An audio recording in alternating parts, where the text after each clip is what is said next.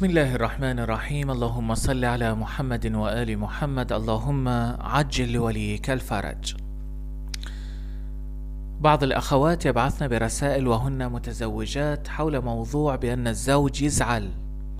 إذا زوجته طبخت طبخ معين وطلع مو طيب يزعل ويقوم من المائدة وربما يلبس ملابسه ويخرج خارج البيت. ويعكر وجهه لمدة يوم أو يومين عليها والله طبخش ما حلو ما تعرفين الطبخين أنا أجي تعبان أنتم ما تقدرون. ويصير اليوم كله نكد. نتيجة بأنها في هذا اليوم لم تطبخ طبخا جيدا. أولا أولا أولا يعني فلنكن مسلمين صراحة فلنكن مسلمين.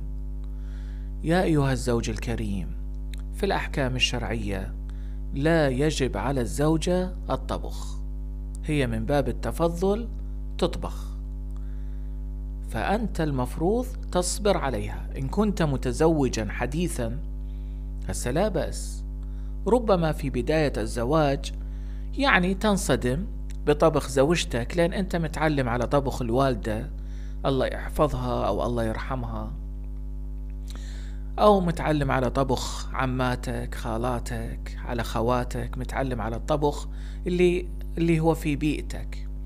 ربما يعني صعوبة عندك تغير الطعام وتغير الطبخ ولكن يعني مرة مرتين ثلاث لا بأس بأن زوجتك تأخذ عادة أهلك. يعني اصبر عليها اصبر عليها. هذا واحد. اثنين عندما تطبخ لأيام عديدة بشكل جيد ويوم من الأيام الطبخ صار غير جيد فعليك أن تذكر الحسنة ليس فقط السيئة. و ولا توجد هناك زوجة لا تتمنى بأن تطبخ بشكل جيد ورائع لزوجها. مستحيل بل إنها تتمنى بأن تطبخ لك أجمل ما لديها يعني من طعام وأن تطبخ لك ما تشتهي وأن تراك وأنت فرح بطبخها. كل زوجة تتمنى ذلك. ولكن ربما عدها أطفال عدها خدمة أهلك أمك عفوا وأبوك وعائلتك وخواتك وإخوانك غسل وتنظيف ومواعين وإلى غير ذلك. فلا تستطيع أن تطبخ مثل ما تريد. لديها تدريس الأولاد عندها امتحانات تدرس الأولاد. فعليك أن تصبر معها وعليك أن تصبر عليها. وهذا ليس من التفضل هذا واجبك شرعا يعني لست متفضلا. إنما يجب عليك شرعا ألا يعني ألا آه، تغضب عليها. وإذا جهلت وإذا أخطأت فيجب عليك شرعا أن تغفر لها في هذا الموضوع كما قال الإمام موسى الكاظم عليه السلام. أن تغفر لها. مو تزعل مو تترك المائدة مو تسمعها كلام مو حلو. مو تقارن طبخ جماعتك في الدائرة أو في بيت فلان ذهبت أو رحت عند فلان وكليت وتقول يعني شوفي أكل العالم وشوفي أكلك وين. هذا مما يليق أبدا ولا يحق لك أبدا أن تتكلم بهذه الصورة. نعم الإمام الرضا عليه السلام دائما وأبدا يوصي الزوجة. اطبخي أفضل ما تستطيعين. اطبخي أفضل ما تستطيعين وصية الإمام الرضا عليه السلام. لماذا؟ لأن الزوج أيضا يأتي متعب من عمله. آه، ساعات طويلة هو خارج البيت ربما يأتي جائع جدا وينصدم بأنه الأكل غير طيب. فالإمام الرضا عليه السلام يقول قدر الإمكان أطبخي يعني بشكل جيد. بين قوسين ابري ذمتك هو مو واجب عليك بس على الأقل ابري ذمتك بينك ما بين الله عز وجل. سويت اللي تقدرين عليه.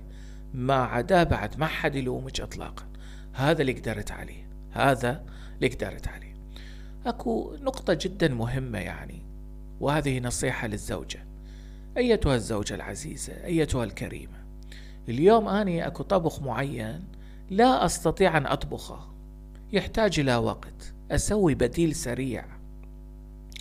يعني بمعنى هو يأتي الزوج من الدوام الساعة بالثنتين بثلاثة باثنعش أو عند الليل يأتي بالعشرة بالتسعة. أنت تعرفين بأنه نتيجة الأولاد والعيال وكثرة المهام ومشاغل البيت ما تقدرين تطبخين هذا الطبخة. فإذا لا تسوينها إطلاقا وتأخري لساعة أو ساعتين أو أن الطبخة تكون سريعة فلا تكون كما يحب أو أنت كما تحبين. فتوقعين نفسك في مشاكل. وكثير من الزوجات يعني يرسلن برسائل ويعانين من ذلك ونصحناهن بهذه الصورة. بأنه إذا كان الزوج متعب وجاي تعبان حاولي أن تطبخي طعام سريع ولذيذ. لا تدخلي نفسك في مشاكل كبيرة جدا يعني قدر الإمكان. أما إذا هو طلب من عندك الطبخة فعليه أن يصبر. يعني خابريه هو يتصل قليلة بأن الطبخة تطول ساعة ساعة ونصف ساعتين. الأمر راجع لك وهناك بدائل. يعني بمعنى تصيري ذكية في البيت. جزاك الله خير. فهل زوجك تعانين منه في هذه القضية؟ آية الله الشيخ بهجت قدست روحه الزكية. تقول أمه وتقول زوجته بأننا بأننا في قلوبنا حسرة. من وراء الشيخ بهجت. ما هي الحسرة في قلبي؟ أم الشيخ بهجت وزوجة الشيخ بهجت تقول يعني لم نضع بين يديه طعاما إلا وقال عاشت يدك. أطال الله في عمرك. لم يتكلم عن الطعام أبدا. تقول في بعض الأحيان ننسى الملح أو الطعام يعني غير طيب نأكله لا نستلذ به. هو لا يتكلم إطلاقا. فقط الكلمة التي يقولها عاشت أو سلمت يداك عاشت يدك أطال الله في عمرك. تقول أنا كل ما أقول له مولانا شيخنا شنو الأكلة اللي تحب أسويها على الغداء على العشاء؟ لا يتكلم أبدا. هكذا هو المؤمن طبعا. كما قال النبي صلى الله عليه وآله المؤمن يأكل بشهوة أهله. أي يقول مثلا شنو تأكلون؟ أنا أكل وياكم. شوف الأطفال إيش يأكلون؟ أنا أكل وياكم. أكو بعض الآباء كما يقول النبي والمنافق يأكل بشهوته. بعض الآباء يقول لا بعض الأزواج يقول لا أنا إلا الأكلة الفلانية. وهاي الأم ما يظل بالمطبخ لأن هو إلا الأكلة الفلانية يريد يأكل والأولاد يأكلون إلا كل واحد أكل على رأسه وهاي الخادمة ضالة بالمطبخ.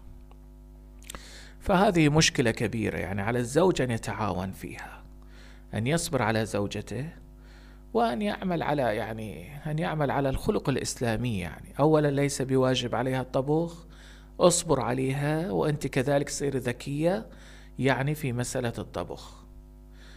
نسأل الله سبحانه وتعالى أن يوفق أسرنا دائما وابدا للاستقرار. برنامج صباحات ولائية.